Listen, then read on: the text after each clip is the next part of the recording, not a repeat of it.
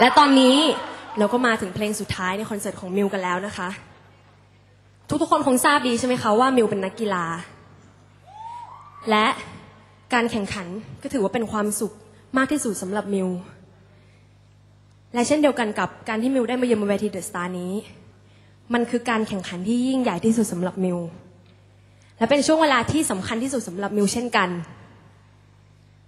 และไม่ว่ามิวจะแพ้หรือจะชนะนะคะ มิวอยากให้ทุกๆคนมีส่วนร่วม ในนาทีที่ยิ่งใหญ่ไปกับมิวค่ะ